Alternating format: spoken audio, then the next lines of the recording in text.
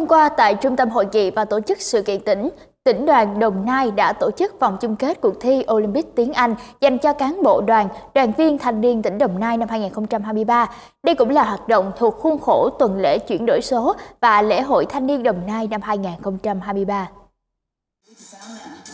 Năm nay, cuộc thi Olympic tiếng Anh dành cho cán bộ đoàn, đoàn viên, thanh niên tỉnh Đồng Nai sau một tháng triển khai đã thu hút gần 2.800 thí sinh toàn tỉnh tham gia. Tại vòng loại, các thí sinh tham gia thi trắc nghiệm trực tuyến trên nền tảng học tập lý luận tỉnh Đồng Nai. Tại vòng bán kết, thí sinh xây dựng video clip tuyên truyền về nghị quyết để hội đoàn hoặc các nội dung liên quan đến công tác chuyển đổi số. Trải qua các phòng thi, ban tổ chức đã lựa chọn ra 7 thí sinh đạt kết quả cao nhất bước vào vòng chung kết. Tại đây, các thí sinh đã trình bày chủ đề và trả lời những câu hỏi liên quan của ban giám khảo đặt ra.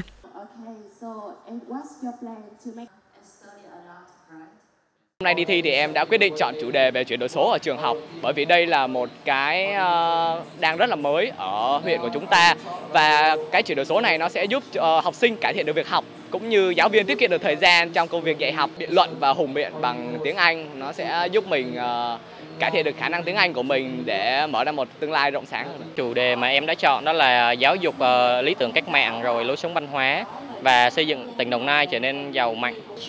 Theo em thì ờ, đây là một cái ờ, cơ hội để em có thể chứng tỏ bản thân mình vì em cũng là một người rất là thích môn tiếng Anh và cũng rất là muốn để học tiếng Anh sao cho thật là tốt.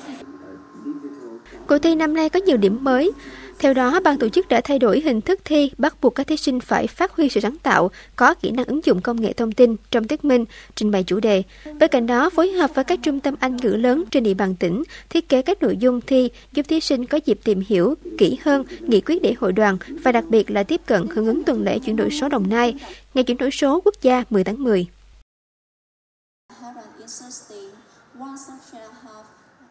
Hội viên thanh niên có cái sự quan tâm và có cái sự đầu tư hơn. À, nhiều thí sinh à, là đã có những cái chủ đề thuyết trình à, và được cái sự phản biện của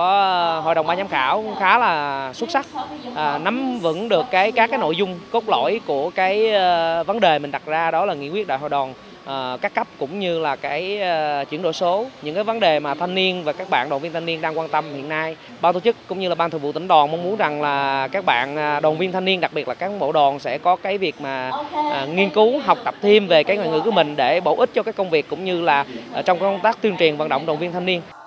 Ngoài cuộc thi Olympic tiếng Anh dành cho cán bộ đoàn, đoàn viên thanh niên, thời gian tới, tổ chức đoàn, hội cũng tiến hành ký kết tổ chức thêm nhiều hoạt động để tiếp tục nâng cao năng lực ngoại ngữ cho thanh niên. Đây là bước đi đón đầu để khi cả hàng không quốc tế Long Thành đi vào hoạt động, Đồng Nai sẽ có được nguồn nhân lực trẻ chất lượng cao đáp ứng cho sự phát triển kinh tế xã hội của địa phương.